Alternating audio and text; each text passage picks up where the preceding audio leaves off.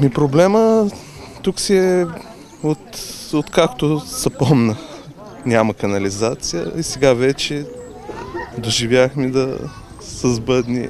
Чакаме тук с нетърпение. Ушки ми един път излъгаха, втори път, още от времето на Шишков, после и Гошо Стаминов и е, сега Павката за 6 месеца оправи работа момчето. Човек га иска да направи нещо, го прави.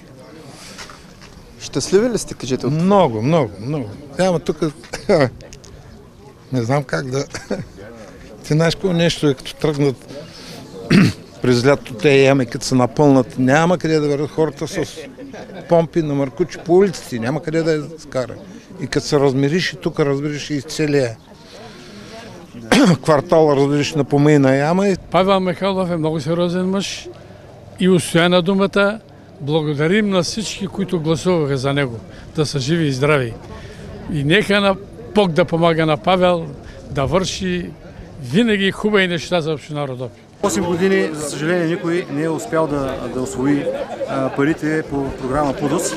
За щастие, а, ние успяхме само за 6 месеца и при условията на пандемията от коронавирус. Всички хора са много щастливи. Надявам се а, всичко това нещо да бъде изпълнено качествено и в срок от изпълнителя.